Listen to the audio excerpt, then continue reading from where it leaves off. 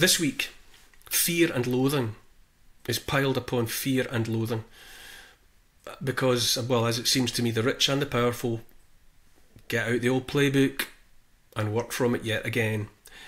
But before I get into it, um, before I you know look at where we stand today, um, I think it's probably a good idea to have a bit of a glimpse of history because it's always a little glimpse of history that triggers the rest of how I think. I found a collection of pieces about places and characters from the Jacobite rebellions, and that's always something that you know that catches my eye. That's a, a subject of great interest to me. Uh, and so I, I, was I was reading around that, and in one of them I, I read about a house uh, on Skye. It was a ruin for a while, but it's been it's been renovated, and it's now I think it's like a guest how you know um, holiday accommodation.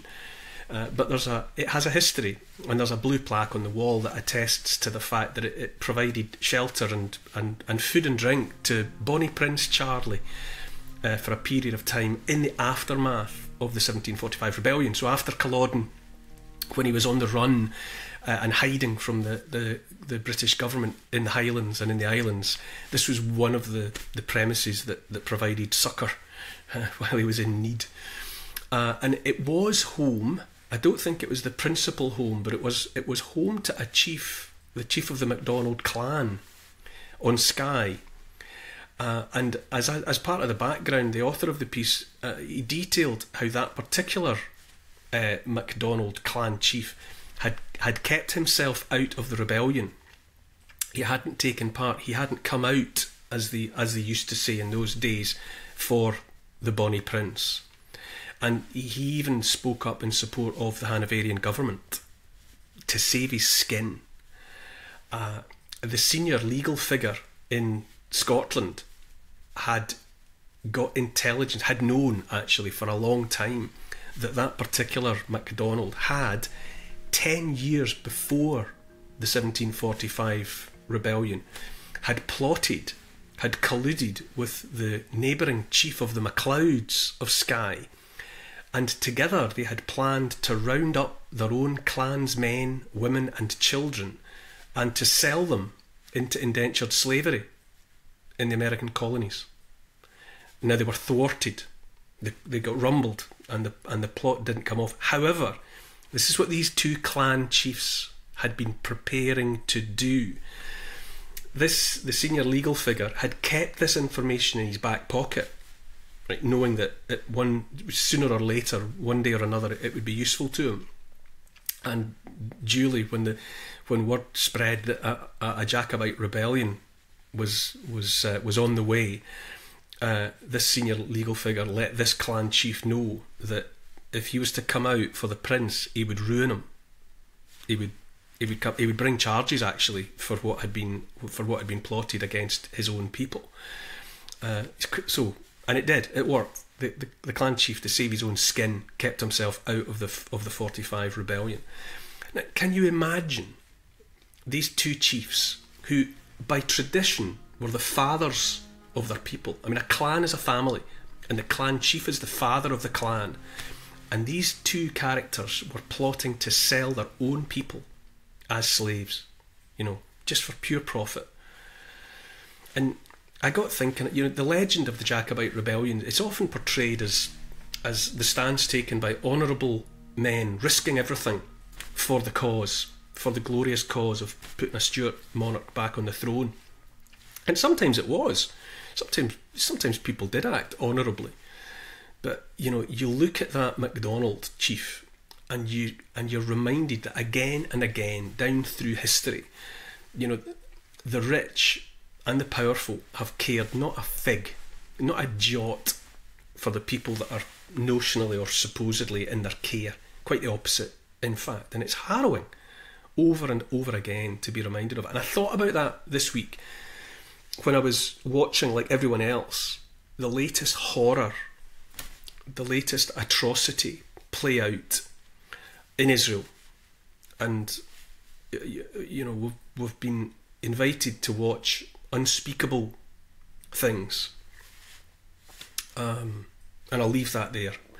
I think everyone, everyone who's who's who's well, unless you unless you're asleep under a under a rock somewhere. You know you know that of which I speak. But but you know I think by now I'm so after three years just passed, you can see that the playbook is in hand again, and it's fairly obvious that apart from anything else, we're being prepped for a war, another war that could spiral into something, well, who knows what, something huge, a conflagration in that benighted part of the world that will consume hundreds of thousands.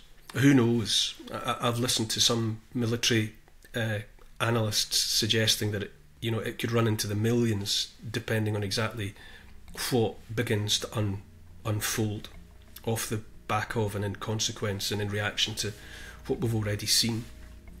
And so many of us, I would say, we, will look on. We just look out at the world now, whatever, and with eyes wide open, and and we see that one way or another, once and again, people are set at one another's throats. You know, hatred is everywhere, and there are the inevitable calls for terrible vengeance. And it's it's happened before and it's happening again. And I look on and I know only one thing for certain. Only one thing for certain, and that is that the price will be paid by more ordinary people. People with no power, people with no involvement, just people. And the meat grinder will be fed, and yet more butchered meat will be the only product. That's the only thing I know for certain is going to happen. And I think, and, I, and I'm not alone in thinking, though, that more and more people are looking at whatever is the latest thing, the latest horror, the latest emergency, the latest call for war, and feeling at the very least a nagging sense of doubt. It's it's undeniable. More and more people, I would say, are looking on at the world at, at terror after terror, at fear and loathing, piled on fear and loathing, and sensing a recurrent pattern. I think you can't not see it. And once you do see it, you can never unsee it. And it seems to me, and I know that it seems to others, that three years ago, three years ago now, the powers that be across the West, across the world, saw an opportunity to reset that world in their favour. It was an opportunity to seize total power once and for all, and they went for it. Presumably, the time seemed right, and they went for it with fear as their principal tool, with hatred as its handmaiden stoking it against one one group after another, always othering some minority, so that they could become the focus of majority fury. And uh, elected representatives, scientists, not all scientists, but a lot of scientists, physicians, not all physicians, but a lot of physicians, academics, the mainstream media, all came together in an unholy union, an unholy alliance to frighten the living daylights out of out of the populations. And they they knowingly set in place, you know, policies and they pushed products that they must have known carried dire risks. They pushed lockdowns and coercive manipulation of behaviour in the knowledge that harm would inevitably be done. And harm has been done and continues to be done. And, you know, with, with hardly any exceptions, every single one of them that, that pushed that agenda is still there. I mean, to me, every single person that pushed that agenda, that caused harm that was inevitable. They should have gone by now. They should have lost their positions. But on the contrary, the vast majority of them are still there. And, you know, here's the thing. Here's the thing though. By their actions and by their actions since, they have utterly destroyed those individuals, any relationship with the people built on trust. Trust's a fragile thing, really. You know, it, once it's gone, it's gone. And for many, many people, and more and more people every day, that trust that they assumed between themselves and the powers that be, it's gone and it's never coming back. And in the absence of that trust, more and more people have watched each successive move on the part of the powerful with mounting disbelief. After COVID began to run out of steam um, and, and lockdowns were, were running out of steam, there was the war in Ukraine. Just there it was. Just when it was needed, it was there. And it has revealed international corruption and money laundering on a global scale. There's plenty of evidence already that some of the weapons that were used um, against Israelis in Israel, some of those weapons had come straight from Ukraine. They had been they had been uh, delivered to Ukraine and then they had been transferred out on the black market or by whatever means, and they ended up being the tools by which those those atrocities were, were committed. Uh, then there's you know there's net zero and climate crisis, so called crisis. Uh, that has revealed scientific dishonesty, let's say, from top to bottom.